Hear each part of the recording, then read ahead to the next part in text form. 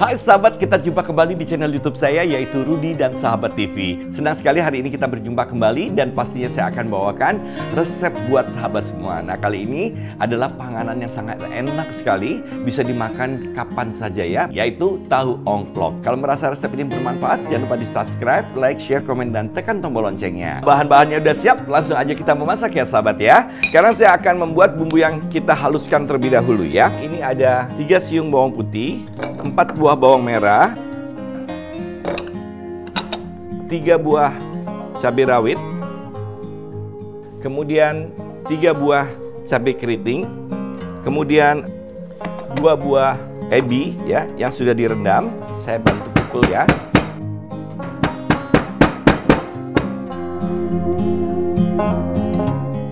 Saya tambah lagi satu setengah sendok teh garam ya. Nah, ini akan saya tambahkan yaitu air untuk membantu menghaluskan 3 sendok makan ya. Kita haluskan sekarang.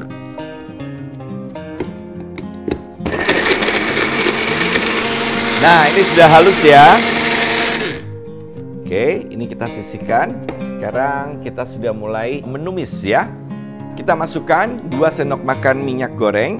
Kemudian langsung kita panaskan. Oke, ini udah mulai panas. Kita masukkan bumbu yang sudah halus ya. Ini kita tumis sampai harum dan matang ya. Kita masukkan daun salam. Ini kita tumis sampai beraroma lagi. Sekarang saya akan masukkan 3 sendok makan kecap manis.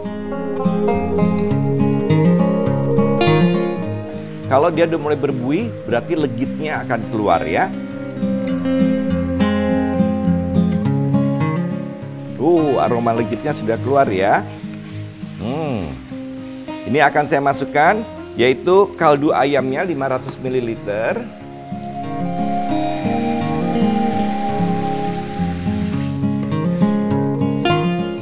Ini setelah mendidih, kita masak dulu 5 menit dari mendidih ya. Sambil sekarang sudah bisa kita kecilkan apinya. Nah, ini setelah 5 menit saya ambil dulu daun salamnya yang sudah kita gunakan aromanya ya. Kita masukkan sekarang tepung tapiokanya 4 sendok makan yang sudah dicampur dengan 5 sendok makan air ya. Kalau mengkilat berarti dia matang ya. Aroma legitnya sudah keluar. Tambahkan gula pasir 2 sendok makan. 1 2 Nah, ini sudah mulai mengkilat. Apinya jangan terlampau besar. Takutnya hangus di bawah ya. Ini sudah selesai. Saya sisihkan dulu saatnya kita akan menggoreng yaitu tahu dengan bumbu merek marinasi ya. Saya akan ambil satu saset bumbu merek marinasinya.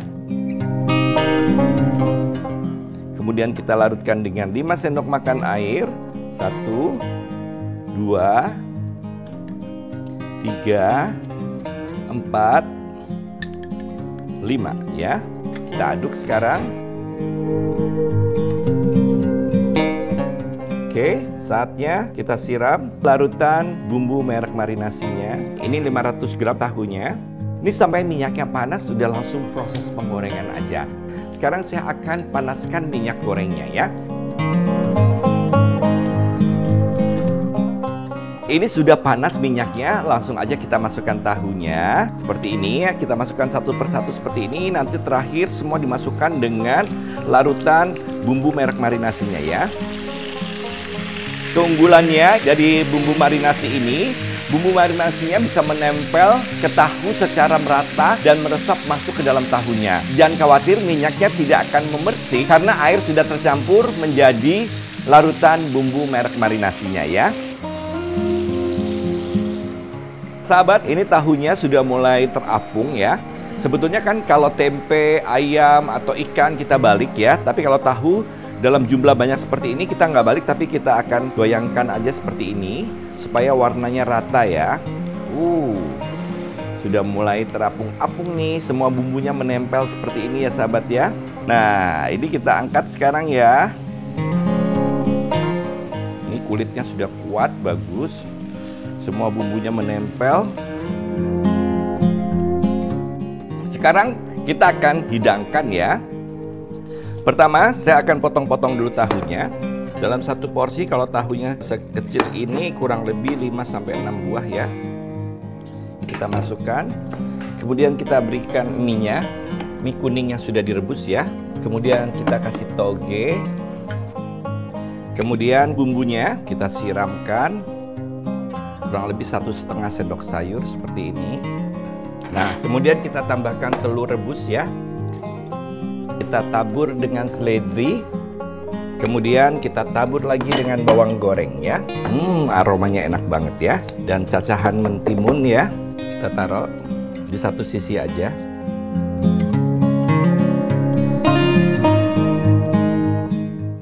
Nah, sudah selesai tahu ongkloknya. Mudah kan membuatnya?